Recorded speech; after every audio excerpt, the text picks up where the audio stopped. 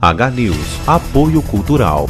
Rafa, Som e Eventos. Academia Saúde e Movimento. A única aberta todos os dias. Carlota Lingerie. Android Assistência Técnica no Open Shopping. Que da hora Gráfica e Estamparia. Um roubo a banco em Hortolândia assustou os moradores. A agência bancária Caixa Econômica Federal, localizada na Avenida Santana, no Jardim Amanda, foi alvo por quatro criminosos no fim da manhã desta sexta-feira. De acordo com testemunhas que estavam na agência, às 11h25 da manhã, dois homens entraram desarmados e se passaram por clientes.